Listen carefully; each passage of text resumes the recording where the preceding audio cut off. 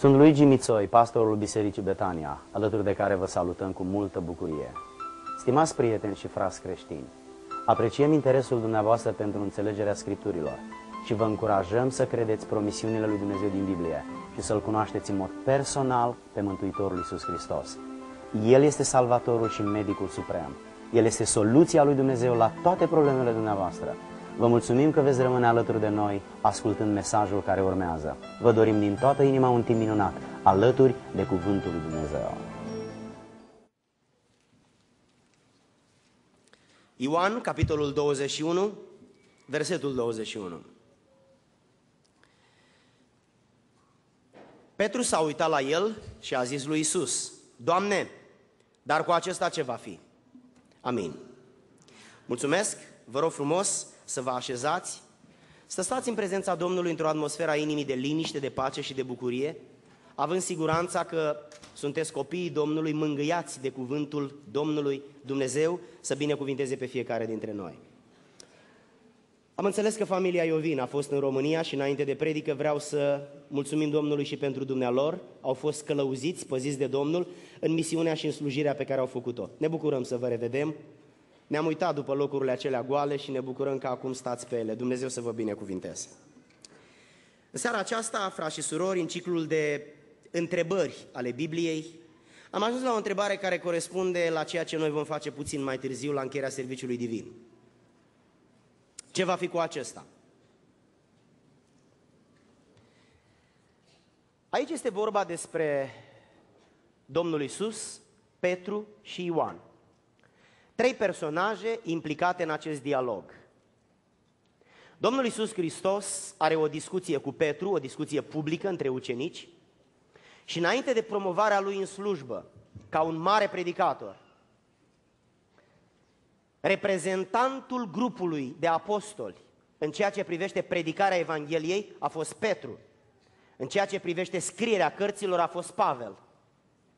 Ori, Pavel, ori Petru înainte să fie promovat ca și predicator, exponent al grupului apostolic, el a avut nevoie de o mare strivire. Această strivire n-a avut legătură doar cu promovarea lui, dar a avut legătură și cu trădarea lui. Dacă promovarea lui era în viitor, trădarea lui era în trecut. Nu vi se pare ciudat că Domnul promovează un bărbat care tocmai l-a trădat? Care biserică și-ar asuma riscul unei astfel de alegeri? Este foarte greu în viață să-ți dai seama dacă greșeala pe care a făcut-o un om e mod de viață sau accident.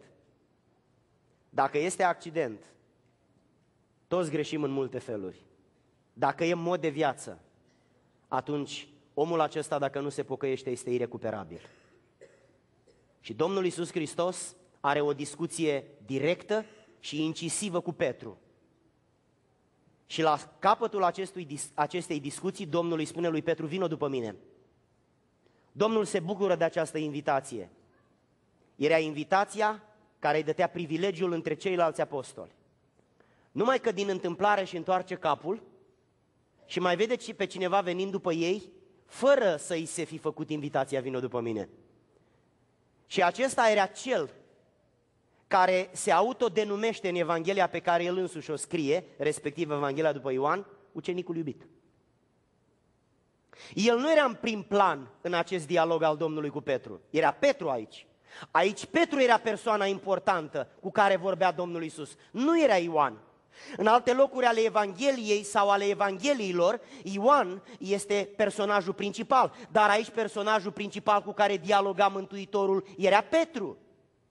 Ioan în acest context era persoana a treia, era un anonim, era cineva care nu fusese invitat. Și Petru pe bună dreptate, văzându-l că se autoinvită, că vine într-un loc fără să fie chemat. Anonimul care se bagă peste doi care au ceva separat de vorbit, Petru este îndreptățit să pună întrebarea, Doamne, dar cu asta ce vrei să faci? Și Domnul Iisus Hristos îi ia apărarea lui Ioan și uitați ce îi răspunde lui Petru. Dacă vreau ca el să rămână până voi veni eu, ce-ți pasă ție Tu ocupă-te de tine și vină după mine. Tu nu poți să vii după mine în dreptul lui Ioan, tu vii în dreptul tău. Tu nu te poți opri să vii după mine în locul lui Ioan. Dacă vrei, te poți opri doar în dreptul tău, cum era gata să faci în curtea marelui preot. Tu ocupă-te de tine, de chemarea ta și de slujirea ta. Ioan are o chemare separată și asta nu este treaba ta. Ce-ți pasă ție de Ioan? Asta este problema lui și problema mea. Tot timpul când cineva se apropie de Domnul, stârnește curiozitatea și întrebarea, dar ăsta ce vrea să facă? Dar cu ăsta ce este aici? El de ce face ce face? Ce vrea să însemne atitudinea lui? Tot timpul când cineva face un pas în față, noi toți care vedem mișcarea lui, dacă face în spate, nu e așa mare problemă. Dacă face în spate, nu doare pe nimeni. Dacă face în spate, nu deranjează pe nimeni. O grămadă de oameni au plecat din biserica asta de-a lungul anilor. Unii s-au mutat în alte orașe. Alții au plecat la Domnul. Dar sunt unii care au alunecat. Și alunecarea lor a devenit cădere. Și căderea lor a devenit prăbușire. Și prăbușirea lor a fost mare. Și nimeni nu s-a întrebat unde este sora care stătea acolo, unde e fratele care stătea acolo. Veți spune, e treaba păstorului. Dar atunci nu-i treaba păstorului și de ce face pasul în față? Numai pasul în spate e treaba păstorului. Dacă un om face un pas în spate, nu-i treaba nimănui. Dar dacă un om pas, face un pas în față, noi toți avem o întrebare și vrem un răspuns. Doamne, cu asta ce ai de gând să faci?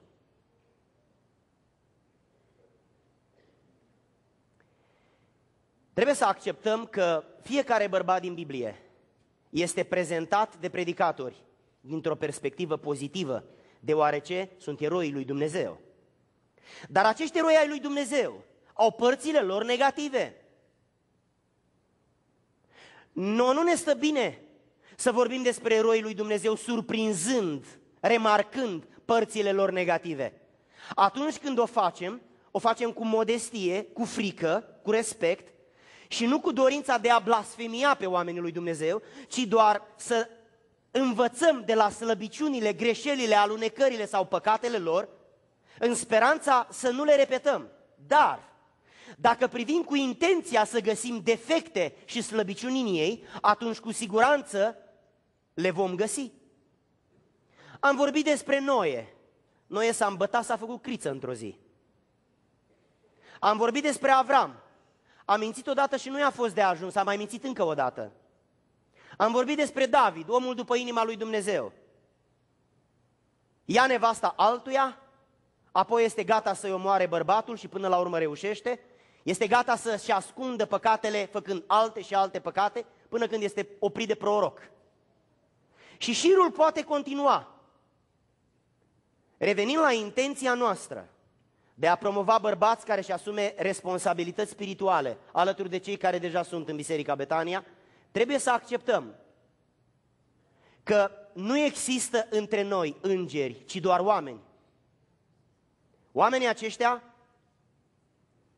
sunt oamenii lui Dumnezeu, dar ca fiecare dintre noi, dacă ne uităm cu intenția să găsim anumite slăbiciuni, probabil că vom reuși. Orice persoană este discutabilă. Este cineva aici căruia nu îi se poate reproșa nimic? Biblia, în Faptele Apostolilor, capitolul 6, spune, alegeți dintre voi. Îmi permit să inventez o întrebare, dar între noi nu-i nimeni vrednic. Adu din alt oraș. Tot timpul specialiștii sunt din alt oraș. Nu, dintre voi alegeți. Da, dar între noi nu-i nimeni vrednic.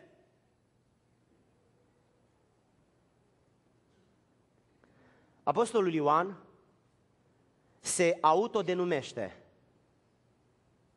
Apostolul iubirii și îl surprindem în Evanghelia sa în situații remarcabile care devin evidențe, devin dovezi ale vieții sale spirituale ascendente. Ioan a avut un, cala, un, un, un temperament coleric. El era alături de fratele lui, fiii tunetului. fiul lui Zebedei. Niște oameni impulsivi ca și Petru, niște oameni foarte activi și urmându-L pe Domnul Isus Hristos, El este expus unui proces de restaurare morală și spirituală, lucru care nu este ușor. Atunci când te-ai întâlnit cu Domnul, trebuie să accepti că te-ai confruntat cu o foarte mare provocare, să-ți schimbi valorile vieții.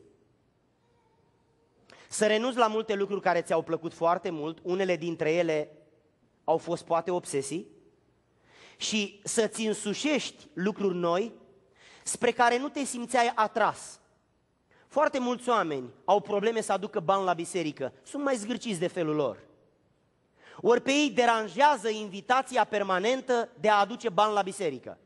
Lucrul acesta este o virtute, este o dovadă a dărniciei, a unei inimi schimbate. Și aceasta este o mare provocare pentru ei.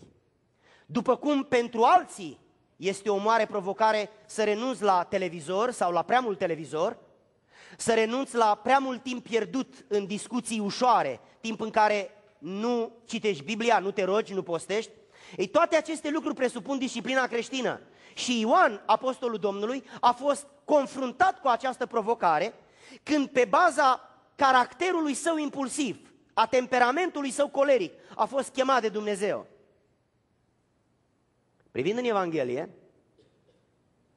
vom constata ascensiunea spirituală morală pe care el a avut-o, urmându-l pe Domnul și ajungând fruntaș între apostoli. Observăm că Domnul Isus Hristos a avut mulți ucenici. Numărul lor nu-l știm. Putem să afirmăm că a avut un grup de 70, unul de 12, unul de 3, unul de 1, cei 3 și 1 sunt dintre cei 12, dar înțelegem din Scriptură că a avut mult mai mulți ucenici decât aceștia. Important este faptul că au fost unii care n-au putut să meargă cu Domnul Isus Hristos până la capăt, deoarece a intervenit un eveniment pe care ei nu l-au mai putut depăși, nu l-au mai putut suferi. Oamenii aceștia au tot răbdat, au strâns amărăciune în inima lor, au tot înghițit până n-au mai putut înghiți și la un moment dat n-au mai putut suferi vorbirea aceasta, au calificat-o ca fiind prea de tot, au renunțat la Domnul și au plecat. Priviți ce spune Scriptura. Iisus care știa în sine că ucenicii săi cârteau împotriva vorbirii acesteia. Împotriva la ce cârteau ucenicii? Împotriva vorbirii. La care vorbire? La vorbirea lui. Vă puteți imagina ucenicii lui Isus să cârtească împotriva predicii lui Isus? Noi îi dăm pe ucenici exemplu pozitiv. Vă puteți imagina o parte dintre ucenicii lui Isus că au cârtit împotriva predicii învățătorului lor? Ce pretenție să mai aibă lui Mițoi când văd pe doi, trei în sală că tot timpul cârtesc? Ce pretenție să am eu? Dacă împotriva regelui meu, Iisus Hristos, când a predicat, unii au cârtit. Înțeleg, eu greșesc. Eu am anumite slăbiciuni omenești în vorbire, poate nu sunt cele mai potrivite cuvinte întotdeauna. Poate uneori vorbesc prea tare, poate uneori prea încet. Dar vă întreb, regele Iisus Hristos n-a știut cum să vorbească. Teologia lui a fost extremistă? Comportamentul lui a fost deficitar? N-a fost el cel mai mare învățător, de fapt nu cel mai mare învățător, învățătorul? Și o parte din ucenicii lui au cârtit împotriva predicii lui. Au găsit o problemă în ceea ce el a predicat. N-au mai putut suferi asta și au plecat. Sunt oameni pentru care nici Mântuitorul Iisus Hristos nu este o soluție. Nici măcar predica lui nu-i mai satisface. Pentru că inima lor este atât de împietrită este atât de îngreuiată de păcat, sunt atât de saturați de frustrare, de nemulțumire, atât de disperați sunt după atenția pe care o vor de la alții și nu o primesc, au atâta nevoie de valoare de la alții, sunt atât de dominați de un complex de inferioritate, încât tot timpul încearcă să devină dependenți de alții care să îi sature de nevoia de atenție și pentru că nu o primesc, oamenii aceștia se supără pe ei, se supără pe viață, se supără pe semenii lor și nimic nu-i mai satură și nu-i mai satisface. Și Isus să predice au pricină de cârtire împotriva lui. Ei bine, Scriptura ne spune că o parte din ucenicii aceștia au plecat. Domnul a întrebat, vorbirea aceasta este pentru voi o pricină de potignire? Ioan capitolul 6, versetul 61. Din clipa aceea, mulți din ucenicii lui s-au întors înapoi și nu mai umblau cu el. Vă puteți da seama că Domnul Isus Hristos n-a fost suficient pentru ei. Regele care a părăsit lumina și slava și gloria s-a întrupat în mod extraordinar și inexplicabil printr-o fecioară. A fost umilința, mila și iubirea într-un chipată. A slujit fără reproș, s-a dedicat oamenilor, n-a avut nici cea mai mică proprietate, n-a avut pernă, n-a avut cearceaf, n-a avut decât o haină care și-a acoperat trupul. Nimic altceva. De cele mai multe ori a fost însetat și nemâncat. De cele mai multe ori nu și-a permis să se odihnească. A fost un exemplu pentru ei. Poate eu nu sunt un exemplu, poate nu sunt suficient de dedicat. Poate ați vrea să mă vedeți mai mult la biserică, poate ați vrea să predic mai bine, poate ați vrea să am mai multe daruri, poate ați vrea să fiu mai deosebit. Și eu aș vrea să fiu, dar priviți-l pe Hristos. El a fost Dumnezeu coborât pe pământ, a iubit, a iertat, a vindecat, a dat lumină orbilor, le-a destupat urechile, le-a îndreptat picioarele, a înviat morții, a dăruit copiii cei morți celor care le erau mame sau tați. Și oamenii se uită la el, ucenicii lui, nu farisei, nu saduchei, nu dușmanii, ucenicii lui. Se uită la el și găsesc o pricină de potignire în el și spune Iisus, nu te mai urmăm, nu mai putem suferi învățătura ta, tu ești prea de tot. Nu, noi vrem o viață confortabilă, tu ne, tu ne duci la extremă, tu ceri prea mult sacrificiu de la noi, tu ne enervezi. Cât de mare este riscul astăzi să avem această atitudine pe care au avut-o mulți atunci. Ei au stat în prezența Domnului și au găsit nod în papură. Ioan însă, prin excelență, a fost un om care, deși n-a înțeles logic tot ce i-a spus Mântuitorul, prin credință a acceptat și ceea ce nu putea înțelege crezând că e adevărat. Nici noi nu putem înțelege logic multe lucruri. Mă gândesc de multe ori, cum o să zbor eu spre cer? Că eu nu sunt în stare decât să săr doi, trei fiți de la pământ. Cum o să zbor eu spre cer? N-am nicio explicație, dar prin credință știu că puterea lui Dumnezeu pur și simplu mă va atrage împreună cu toți sfinții spre împărăția lui Dumnezeu, spre porumbarul unde într-o zi se vor duce porumbei. Logic nu mi explic, dar prin credință accept că este adevărat, deoarece este cuvântul lui Dumnezeu pe care eu l-am luat ca și o speranță personală, ce mă motivează ce îmi dă putere să mă ridic, să nu mă las, că mai este puțin, nu-i departe glasul trâmbiței. Ei bine, Ioan a fost o persoană remarcabilă prin faptul că a depășit toate aceste bariere, toate aceste incompatibilități ale logicii umane. A depășit dificultățile cu care s-a confruntat ca om. Și el a fost un om cu multe slăbiciuni, cu multe păcate. Deși a fost un om religios, după cum vom observa imediat. Observați că omul acesta a fost o persoană religioasă. Scriptura ne spune că atunci când Petru a fost închis, el, îl cunoște, el cunoștea pe oamenii din anturajul marelui preot, avea relații la marele preot. Cum reușea el să aibă relații la marele preot? Asta înseamnă că el mergea des la templu, mergea la templu, mergea des la sinagogă, se învârtea printre oamenii care citeau în Scriptură, care ofereau învățătură și făceau slujbe publice. Ioan a fost un om care, înainte să apară Domnul Isus Hristos pe scena istoriei, a fost o persoană care stătea între predicatori, care stătea printre preoți, care ascultau ce spune ei. El a fost un om însetat după Dumnezeu. El îl cunoștea pe marele preot și anturajul marelui preot.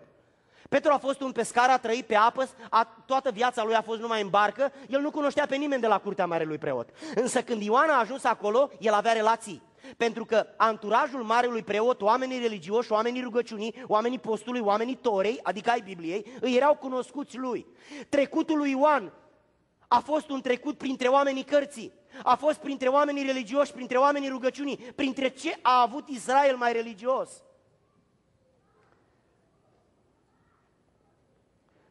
Aș vrea să ne oprim aici, să încheiem cu rugăciune și să punem punct serviciului divin, dar nu înainte să mă îndrept înspre dumneavoastră și să vă spun următorul lucru. Cel mai mare lucru într-o viață de muritor este echilibru. Imaginați-vă un cerc mare, ca un tort, ca și un cake, și tăiat așa, în bucățele cum servim musafirii. Și imaginați-vă un credincios din biserică care s-ar putea să exceleze în două, trei feliuțe, dar în restul să nu mai exceleze, ci din potrivă să fie falimentar. Ia acele feliuțe și le pune în față, dând impresia că toate celelalte feliuțe sunt la fel, dar nu sunt. Echilibru într-o viață de muritor este cel mai mare lucru pe care un om trebuie să-l urmărească. Și în această seară vreau să vă invit pe fiecare dintre dumneavoastră, căutați echilibru. Nu cereți de la alții ce nu puteți face dumneavoastră. Fiți oameni miloși și iertători. Încercați să corectați aspectele lipsite de performanță și excelență pe care tot timpul le punem în spate și le amânăm pentru mâine ca să le rezolvăm și să ne apucăm de ele. Noi nu știm dacă ziua de mâine va mai fi a noastră. Și nu vă lăsați descurajați de nimeni. Tot timpul va fi cineva care o să te întrebe, hei, tu, tu ce cauți aici? Tu de ce ai venit la rugăciune? Tu de când cânti la fanfară? Tu ce cauți pe prima bancă? Tu de ce nu stai un pic mai în spate? Ei, tu, tu ce te trezești aici la cameră? Și tu de ce dirigezi? Și tu când ai venit la cor? Cu ăsta ce este aici? Asta a fost întrebarea lui Petru. Dacă Domnul v-a chemat, dacă simțiți această chemare în suflet, duceți-vă. Nu așteptați ca să nu mai fie nimeni împotrivă. Tot timpul va fi cineva împotrivă. Și uneori, cel care stă la dreapta sau la stânga. Nu un dușman a pus întrebarea asta despre Ioan. Ăsta de ce e aici să ne deranjeze? A pus-o unul care a umblat împreună cu el trei ani și jumătate după Isus. Încurajați-vă și îmbărbătați-vă, dați Domnului slujirea dumneavoastră, dați inima și nu lăsați pe nimeni, nici evenimentele, nu lăsați pe absolut nimeni să vă oprească din dedicarea pentru Dumnezeu. Sperăm din inimă că prin mesajul biblic pe care tocmai l-ați ascultat, Dumnezeu a atins sufletul dumneavoastră. Vă încurajăm să reveniți alături de noi pe www.betani.cc sau pe www.bisericabetania.com pentru următorul mesaj. De asemenea, vă invităm să vizitați și să folosiți în funcție de nevoile dumneavoastră resursele site-ului Bisericii Betania. Dacă aveți nevoie de rugăciune sau de ajutor în înțelegerea scripturilor, vă invităm să ne scrieți la adresa de e-mail luigi.betani.cc Până data viitoare când ne vom închina și vom studia Biblia împreună, ne rugăm lui Dumnezeu să vă binecuvinteze viața, familia și viitorul.